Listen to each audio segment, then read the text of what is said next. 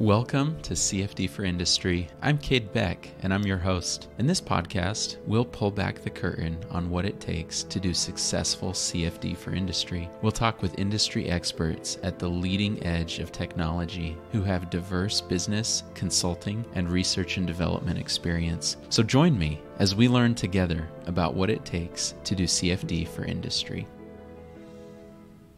Abhishek Chopra is the co founder and CEO of BosonQ Psi, the world's first quantum SaaS for multiphysics. In today's episode, you'll learn what made Abhishek change his plans from pursuing his doctorate to going all in on his quantum startup.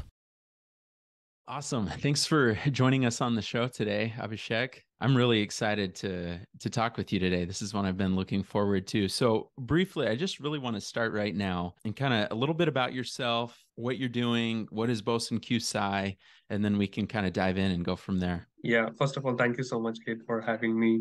I'm really excited to to be part of this, and uh, I hope uh, some people can learn something about new areas of quantum uh, quantum computing and quantum fluids through through this conversation. Just to give you a little bit of background, I'm somebody who's genuinely very passionate about uh, CFD. Uh, I actually got to know about CFD right from my high school. I was the first introduction for me is I was trying to understand something on Wikipedia about the surface of sun when it was written and i went more in depth and there was a nasa article it was referring to which was talking about oh you predict all these things using something called as computational fluid dynamics. I didn't understand any of the equations back then but because i didn't understand things it moved me towards i want to understand this. I always like somebody who likes to punch above my weight class as, as they call it. So it was since it was tough it was really exciting for me. So i made this goal that i want to pursue this area i want to understand and i want to be a researcher and want to make some contribution towards it. So uh, fast forward, I got into Rutgers University where I was the, reason I got there was because of a couple of professors who were pioneers in computational fluid dynamics. I got to work both with both of them. One is Professor Edward DeMauro, who is my mentor. He gave me a lot of my experience in experimental fluid dynamics. I did PIV and Schlieren uh, in, in supersonic wind tunnel. Uh, got to know about shock waves. I did very exciting research towards my back end of my undergrad in, in lambda shock waves and those kind of things. I also worked with Professor Doyle Knight, who specialized in high speed flows and CFD of that he was the reason for me to go to Rutgers, to be honest, at first place. To, to get to him, it was a hard journey. So I did a lot of research before I was enough to, to be part of his research group in some sense. From there, I got my passion during my third or fourth year towards rotary wing aerodynamics. So I was researching on wind turbines, eVTOLs, and did a project on eVTOL. Um, big team, 25 team, 25 member team. Uh, Ruth and myself. So that's where I met my co-founder Ruth during my undergrad. Actually, we were the best buddies, and had one question: How can we solve Navier-Stokes equation?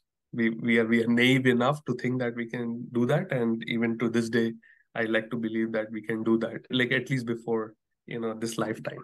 So that's that's the the thought process much further along got accepted into a number of grad schools selected rpi rensselaer polytechnic institute in upstate new york because again i got to pursue computational fluid dynamics, this time developing computational fluid dynamics for high performance computing for applications on wind turbines and eVTOLs, which became a strong interest of mine. And it was there where I discovered what does actually high performance computing entail?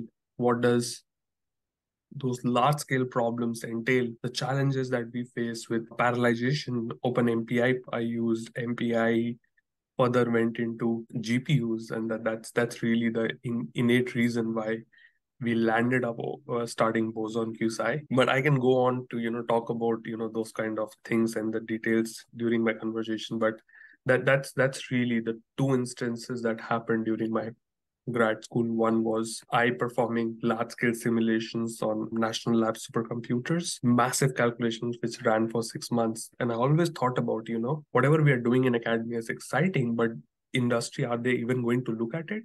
The answer is no Yeah. Um, and multiple times people told me. The second of instance was the the the supercomputing cluster at my university got decommissioned and a new supercomputing cluster was put up, which was 95% GPU capability. And all my codes that I was doing on Fortran, C++, legacy Fortran code all got obsolete because they were MPI based CPU codes and that's what is happening across the globe. I believe that every code is changing to gpu based codes and we were not ready i did not agree to that situation. This is what led me to applying to different programs. I was invited to different some of the gpu you know programs that we know across the globe. I was particular one that i was invited to was oak ridge national lab and nvidia did the program with that, tried to convert this legacy code to GPU based, successfully was able to complete that. But the very thing happened at the end was the performance improvement was just four to five X. Not exciting enough for us to solve massive scale DNS problem, let's say.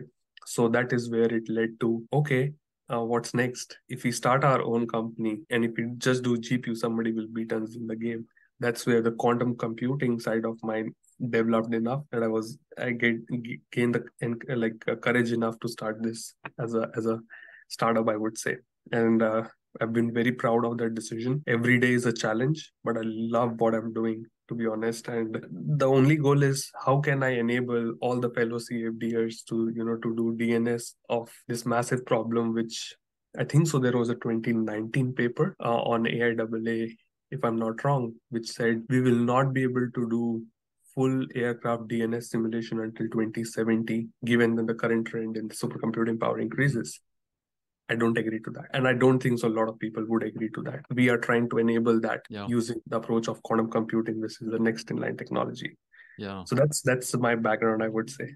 Well, that's a that's a most thrilling introduction right from the start, right? That's rare that I find people introduced to CFD in high school, and that's awesome. It really sounds like um, you've had some awesome experiences in your undergrad. And correct me if I'm wrong, right? One of the things we like to emphasize on the show is what skills really stand out at developing in CFD. And it looks like if I'm extracting some bits from hearing your story, you were exposed to the equations early on and doing not only like coding and and really digging into the equations of what CFD does numerically, how it solves, but it's some experimental work, right? In a wind mm-hmm. tunnel. And so that's always a huge helpful combination. If you can just speak to that for a little bit, I feel like with it being so easy to access a code in today's world, right? OpenFOAM, other educational commercial licenses. If you can just speak to how the time that you spent in an experimental lab has kind of shaped the relevance and maybe the practicality and that physical aspect of intuition, you know, of how has that played a role as you've been on this path of really the Everest of of CFD, shall we say, right? Thank you. That was a that's a great question, and I want to emphasize that it is the mathematics. I, I cannot stress enough with people. You know, it's really just the mathematics which is the most core of everything that we are doing. If if you are a high school student who wants to get into this field or an undergrad who want to progress further I think so. The mathematics is the most important thing, and and and every bit of mathematics, not just calculus, but linear system, mm-hmm. you know, linear algebra, as we say, statistics, and and all that comes along. So I think so. Mathematics is the most fundamental skill. Mm-hmm. The number two is physics, and physics you don't need to know like something like quantum physics until you're not doing quantum computing, but physics, the intuition of physics. Uh, yeah what do we solve Navier-Stokes? It's it's really a physical to MA. It's just mm-hmm. in a mm-hmm. very expanded form. Sure. But but that's that's really the physics uh, and the mathematics. I would be very honest. I did not do coding, and I was not good at coding mm. uh, until third year of my undergrad. I actually got the opportunity to spend a summer at Purdue University, where I was working on developing this non-linear a spring system, which is a passive load alleviation technique for wind turbines. And it is there I was exposed to like scripting and mm-hmm. writing codes and uh, things using Abaqus. Uh, I'm grateful for that opportunity, yeah. but it was the real coding on my CFD only came when I started my um, uh, grad school at RPI. But before that, I built such a strong fundamental first from theoretical. Mm-hmm. So any term you pick up on any equation in, in, in Navier-Stokes or any other form of Navier-Stokes, I could tell intuitively what it means and what yeah. it means. And that's, uh, you know, fluid mechanics 101 and mm-hmm. aerodynamics mm-hmm. 101, as, as you rightly pointed out.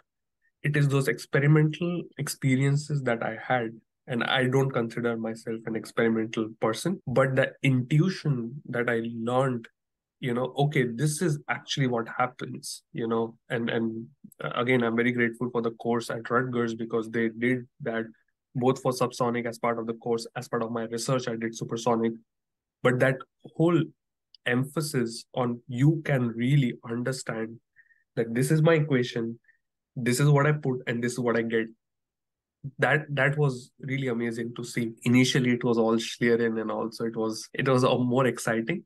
But when i get got into PIV and when I can visualize and I can really see, yes, there is a phenomena that is happening, especially when I first saw my lambda waves after the PIV post processing, it was exciting. And I still remember that image because I have it saved as my wallpaper for a long time. Those intuition became so handy that during grad school in, in US system, we have an exam that you have to pass through and i did not have to work too much hard on my fluid mechanics course because it was just intuitively placed in my mind yeah. other places I've had to work more harder, I would say. But but uh, I am really uh, again very grateful for the opportunities I've got with the professors who spend time with me, office hours, and also my mentor, Professor. Yeah. He spent a lot of time with me in his office, you know, explaining me each and everything. And I used to ask lots and lots of questions. So don't don't hesitate. I would say people who are listening, don't hesitate to ask questions. Yeah, I think I was just talking about this on LinkedIn this week. Of there's I think it's worse for engineers too, right? There's this mentality that's unintentionally created in schooling, I think, of we're embarrassed to say, I don't know, especially as engineers, right? Because maybe some of mm-hmm. your friends are in other majors that aren't as technically rigorous. And so it creates this this facade where if you've got the question, there's likely 10 people next to you that have got the same question or more. And just ask it, right? Let's get over that hurdle of this is difficult stuff. Let's acknowledge it and and everyone needs a mentor. We've all been there when we've been scratching our heads at the vector calculus and wondering, okay, I haven't quite wrapped my head around this. And that's normal, right? Let's normalize the difficulty of, of some of this stuff because different parts come easier for some people than others and it goes both ways. So awesome. Let's let's dive in a little bit more for someone who is coming at this from like a classical computation standpoint. What are some key fundamentals to even understand? Because this is really a, a total paradigm shift from when we talk from classical computing to quantum computing. So maybe we can talk about bits and qubits and, and if you can kind of just give a brief introduction for someone, yeah, who really doesn't have any background at all. For sure. Uh, so on when we think about, you know, quantum computing, we always think about this uh, like a sci-fi movie sort of a thing a lot initially in, in our when we started our entrepreneur journey you know explaining people that quantum computers really existed was a tough task but now there's a lot more awareness i, I just want to say right uh, first of all why quantum computing. We we have built chips now where things have gone to nanometer scale. Anything that you go lower you start to go into such smaller scales that quantum phenomena start to make sense. Or as we do you know or sensitive sensitive analysis you, like your phenomena start to emerge there. Hence uh the, the computer scientists of this world have thought about that the next in line technology has to be quantum computing. So now, what are those phenomena that I'm talking about? Uh, there are in quantum physics when we used to study as high school students, I think so, or in, during our undergrad, you would have studied that. Okay, there is you know some form of particle wave nature, the Heisenberg uncertainty. It, it's it's just those things, and we name it two. One is entanglement, and the other is superposition.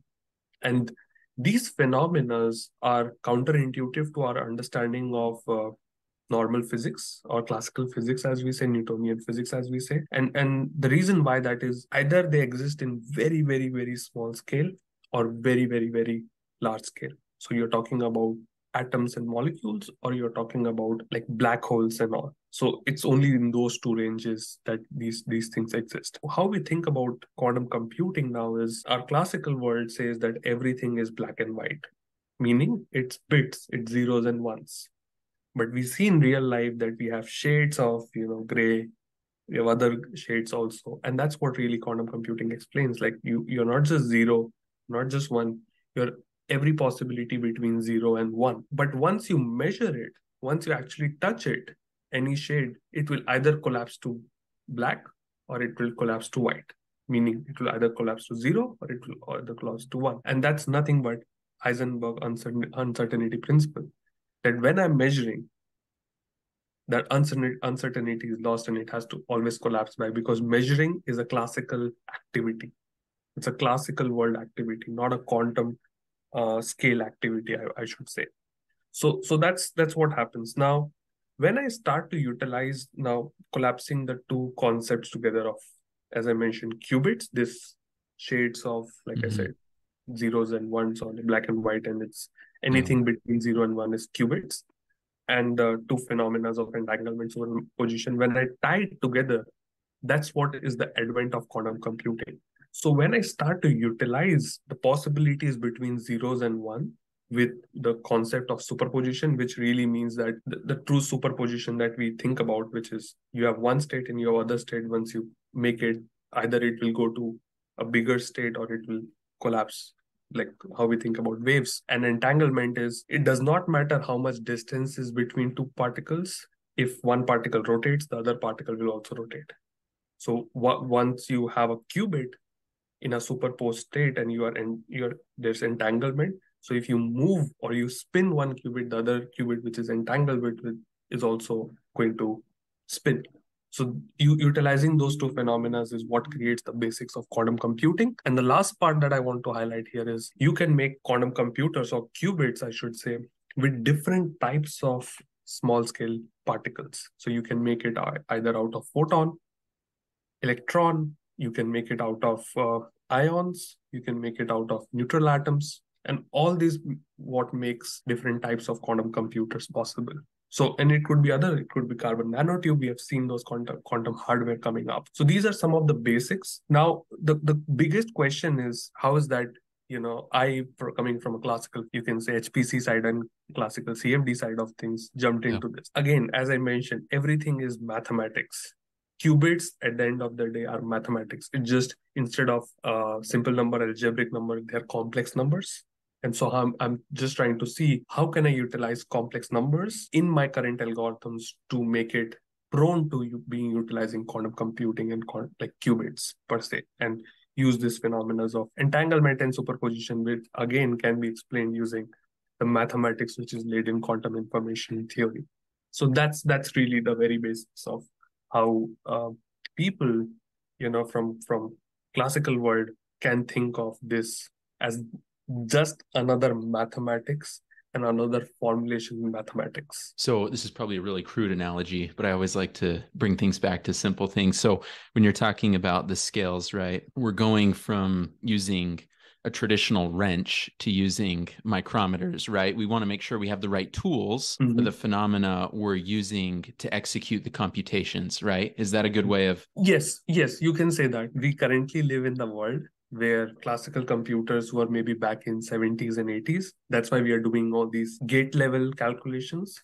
I strongly believe in the next 3 to 5 years and we are already seeing the tools you know are maturing and everything. We will start to go back to that simple like python c++ coding or maybe there's quantum some quantum language where we will be doing the code to extract what we have to extract. But but your an- analogy is is, is right that what part of the computer are we playing with? Are we playing with the wrench or are we playing with those micrometers in yeah. the computing technology? But as CFD algorithms, I don't think so. We have to worry about those things once the technology matures. If someone wants to get a good introduction to quantum computing, is there a text or maybe a, an online course that, that could give someone, bring them up to speed with what they would need to know? A recommendation for that? So I want people to, you know, learn quantum computing. I'm a big advocate. Yeah. There are a few things people can do.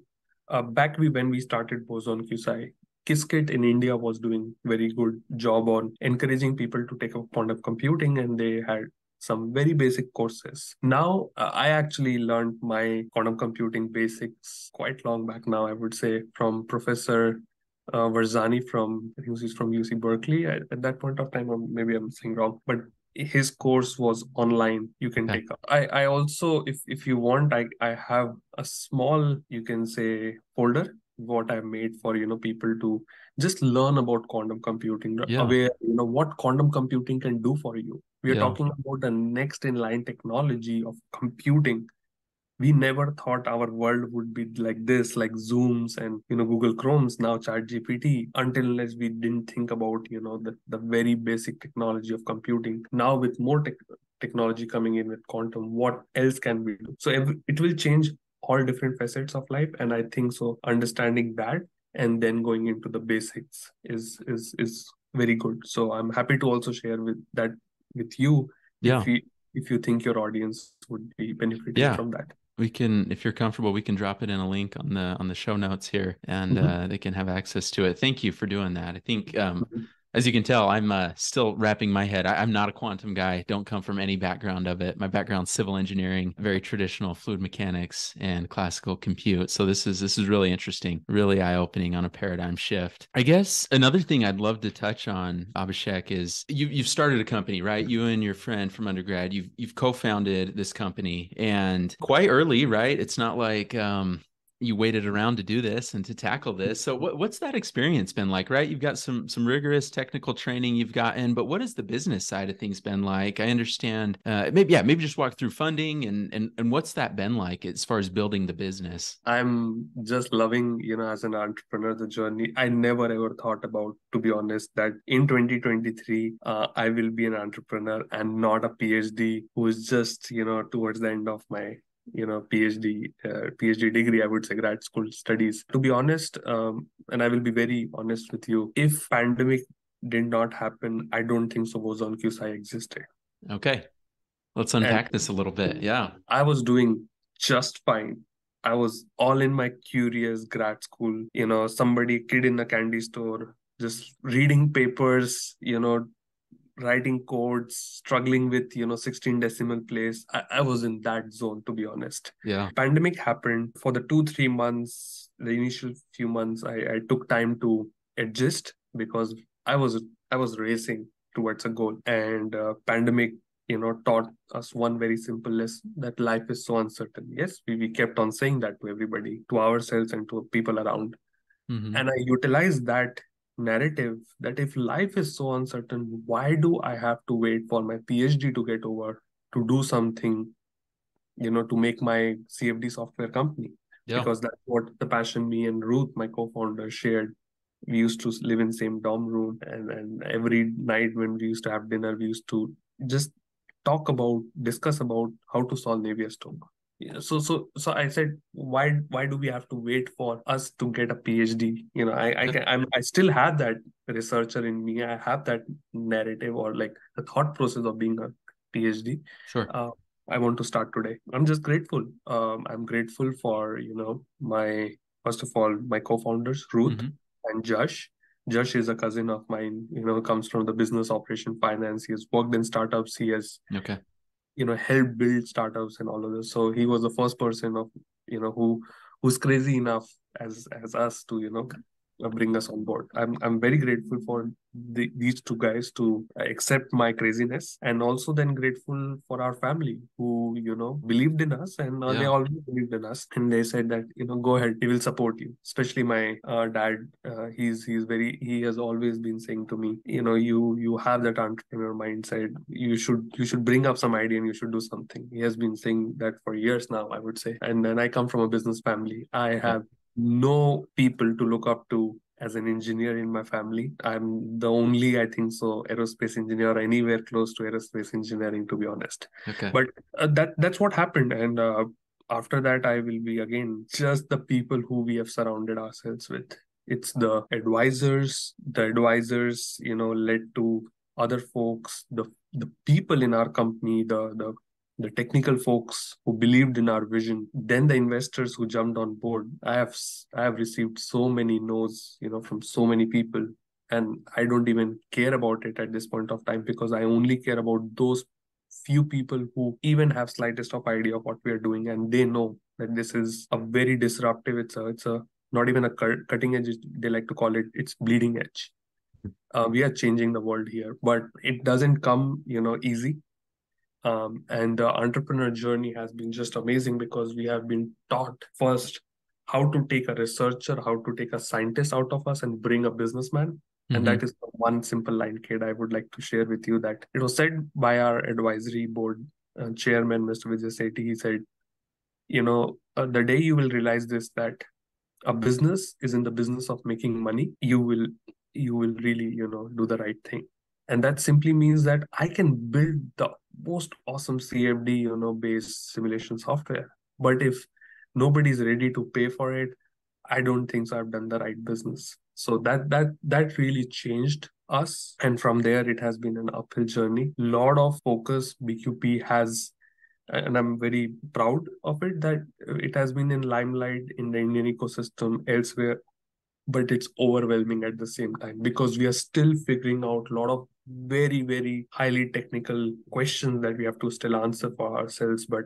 but I'm I'm proud of the, the ecosystem that we are building around ourselves. I'm very happy to also see uh, different companies who have started to come in because it gives validation to us and it gives validation to investors, other you know technologists that yes there is a field of you know physics simulations that can benefit from quantum computing and i'm i'm very happy to see we don't want to be alone in this space i would say so seeing different companies pop up is is very exciting yeah. but as an entrepreneur the the the last two and a half years or three years has been very exciting. Even today, as the question you asked, how are we figuring out you know the business part of things because we know our science we know our mathematics but how are we figuring the business part? The fundraising uh, taught us a lot. That's where i took the plunge of not being a grad student anymore. I thought that it's it's time for me to become full-time ceo now. Okay. so eight months ago that happened. Okay. Uh, i came out of my phd i'm i got my master's uh, the same day I told my professor that I'm going to do this full time, he said, You can graduate tomorrow because you have enough research and you have done your courses. So it was, yeah. it was been very grateful.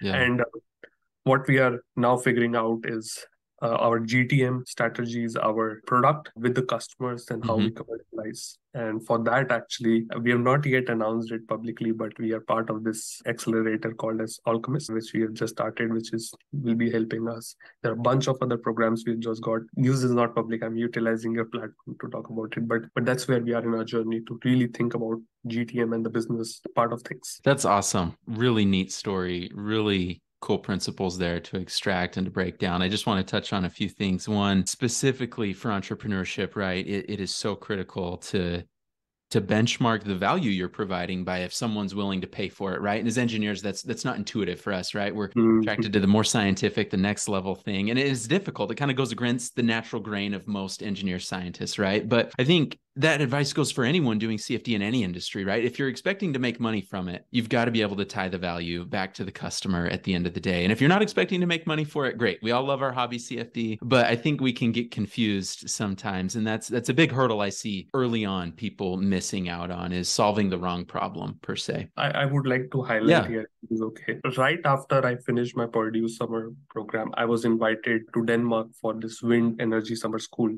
Okay. Uh, and and I, I I was there, like I said, I was doing this passive load alleviation of wind turbine blades, you know. Mm-hmm. And I told the the engineers I met, met at like Vestas and Siemens Gamesa about this. And like, you know, this is the technology you guys will be opting for because you're just talking about this problem. And one thing that I got the feedback was we can be doing the most fanciest thing in academia. To come to that industry, you need that TRL level to be very high. You need to, as you mentioned very rightly, so you have to tie it to the business value. It's not about the science, it's about the money at the end of the day, either generating money or saving money. Is my technology doing that? If not then like i said you're in the wrong business per se yeah.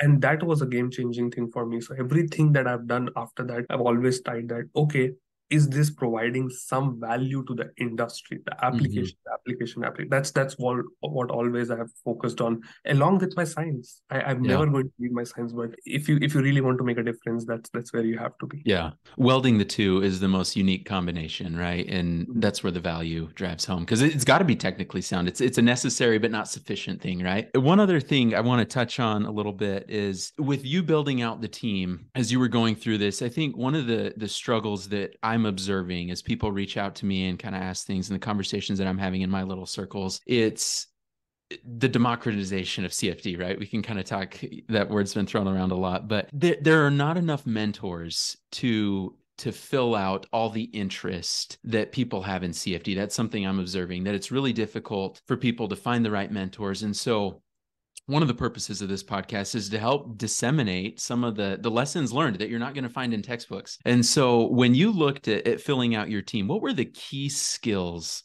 that you'd recommend that if somebody wants a good start to a CFD career, obviously there's going to be some quantum specific stuff with, mm-hmm. with BQP, right? But what are the key skills that you're looking for in that team as you were going through hiring um, from the, the technical development side? I guess primarily because most people listening to this mm-hmm. are, are going to be exploring that, that path probably. So, so leaving the quantum part aside, because we don't really hire quantum specialists, there are a few but even for those and the, the people who so we have three tech teams. We have a software team which develops the software. There is a quantum team which develops the quantum algorithms. And the third thing that which is the most important which is the simulation team. In simulation team what we look for is number one goes without saying mathematics. They need to be very strong in mathematics. If they're okay in python they're okay in c++ they can learn that. Yeah. i have learned that so i'm i'm you know i always encourage that people with strong mathematics. Number two is their fundamentals have to be clear. You are talking about your undergrad coming out of undergrad. If you have you know what a navier-stokes equation means each term of it what a Burgers equation means just the fundamentals. If that's clear i think so those are the only two things which are required. Yeah. everything else can be learned. Everything else can be learned. You know you might take 10 days you might take two months and uh, of course we have timelines you know. Sometimes somebody is a little bit early it does not match sure that's okay. Yeah. But at some point of time bqp will be big enough you know to support. One thing in india that i've heard a lot in initial days there's not enough opportunities for developers. Mm. and there's then not enough developers in india. There are fantastic folks coming coming out of india in like cfd and others but there was not enough people who can actually do development of different, not just CFD, but like we are doing design optimization, thermal mechanics, structural mechanics, and so on and so forth. And and that kind of education, I feel like is highly provided in Europe uh, more than in US. US, of course, there is, but I think so. Europe uh, universities and more so researchers, you know, get get that kind of an opportunity to build methods, to build algorithms, to code that up. But for anyone who's trying to enter this kind of a field and want to make a difference, mathematics is number one. Number two, having your fundamentals of your whatever physics you have picked up, whether CFD, structural, thermal, whatever, the, the fundamentals have to be clear. And number three, some some level of coding experience would be very much appreciated. If people are confused which language, I would put it very simply C is the language to go for. You learn one language, you can learn all language, but you once have that mindset of a coder, you you will keep that yeah, It, it's the same thing as, as you're talking. I'm just reminded like the goal of engineering school was to train you to think like an engineer, right? Nobody remembers the textbooks. Nobody remembers everything off the bat. The goal of coding is to train you to think like a mm-hmm. coder. And then the syntax is just learning the differences, right? Obviously that's that's way overgeneralized, but mm-hmm. I think that's the point we're making in this discussion, right? Overnight I, I learned Fortran. Overnight I learned Python. And again, I'm not anyway saying that I'm anyway smart in coding. There are tremendous, you know, folks who are out there, but simply for me, it's it's just putting one thing to another as you yeah. syntax. Everything yeah. else. If you go for the roots, you know where all the leaves are, right? You don't exactly. have to spend time digging through the leaves. Well, it's been so good to, to have you on the show, Abhishek. I really appreciate it. And uh, thank you for coming on. I wish you all the best with BQP. So Thank you. Thank you, Kade. And you're doing an amazing job with this, telling people what people need to be thinking about. One thing I will leave people with the thought of if you haven't uh, read uh, or the report of uh, CFD 2030 vision, go do that. If you're if you're struggling to see where you need to go with CFD, that's the place you need to be going and doing things and making a difference there. But thank you so much, Kade, for having me. And I'm really um, genuinely uh, thank you for for having me here and exciting, exciting times ahead, I would say.